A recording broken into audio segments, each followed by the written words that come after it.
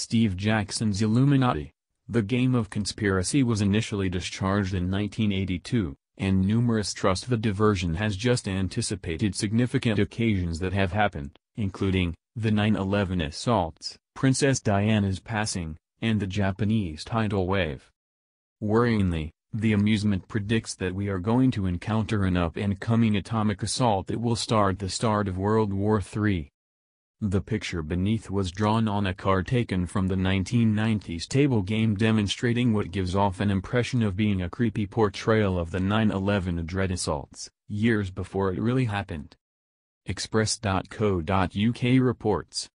The Illuminati, most broadly included in Dan Brown's books, is an affirmed mysterious symbol made up of the world's tip-top who conniving scholars guarantee are plotting to present another world request which will give them add up to control over every one of us. The way that a diversion about such a shady society seems to have anticipated the world's most exceedingly awful fear strike has given scheme scholars more fuel than they could have ever longed for. One hypothesis routinely touted by trick scholars, known as 9-11 truthers, is that the outrage was really coordinated by the Illuminati through U.S. inside administrations to accumulate bolster for the arrangement of wars which at that point unfurled in the Middle East. The card being referred to, imprinted in 1995, looks strikingly like pictures of the 9-11 assaults in New York that spread over the globe, with a blast tearing through the center of one of the structures.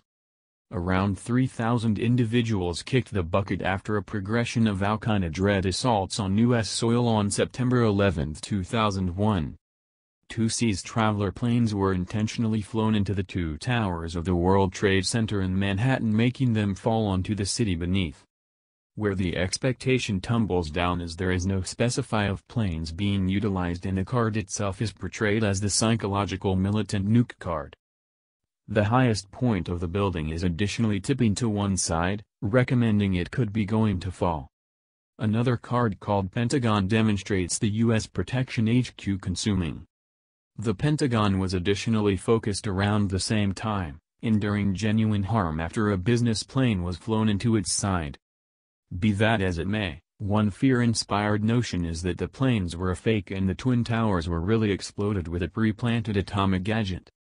Another article about the cards was distributed by www.cuttingedge.org, a site which says it gives profound bits of knowledge into the New World Order.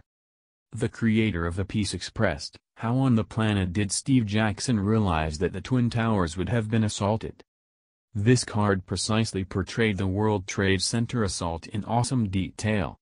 The card precisely delineates that the place of effect is some separation from the highest point of the Twin Towers.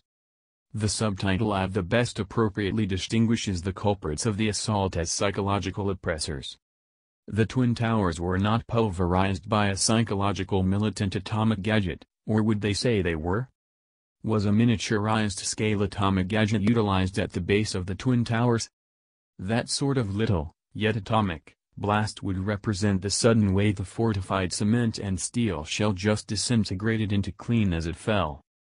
Swinging to the Pentagon card, he included, when I saw this card, quickly in the wake of seeing the Twin Tower picture, my blood solidified. Unless one had propelled information of the Illuminati plan, there is no chance to get on Earth that they would have possessed the capacity to make pictures in 1995 that precisely portrayed the unfurling occasions of 9-11. Some claim that Mr. Jackson some way or another got a duplicate of the Illuminati's groundbreaking strategy and utilized the pretending business to spill it to the world. This hypothesis is further fueled by the reality the U.S. Mystery Benefit DID attacked his street number before the diversion was discharged. The frontline report included, he got an unexpected visit from the Secret Service, who attempted their best to close him down and keep him from distributing his diversion. As indicated by Mr. Jackson's site, a lot of gear was seized, including four PCs, two laser printers, hard plates and equipment. The examination was into suspected extortion regarding charged hacking. In any case, a judge tossed out the case and granted Steve Jackson Games $50,000 in addition to $250,000 costs. So what is anticipated straight away? In the event that you trust so much stuff, at that point worryingly it is World War III.